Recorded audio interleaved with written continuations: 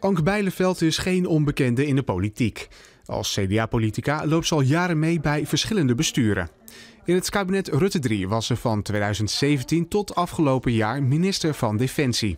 Ze stapte toen op als minister nadat de Nederlandse evacuatieoperatie in Afghanistan moeizaam verliep. Bijleveld werd middelpunt van de discussie die daarop volgde. Voor dit ministerschap was Bijleveld zes jaar lang commissaris van de Koning in de provincie Overijssel. Daarvoor was ze nog staatssecretaris van Binnenlandse Zaken en Koninkrijksrelaties en burgemeester van de Overijsselse gemeente Hof van Twente.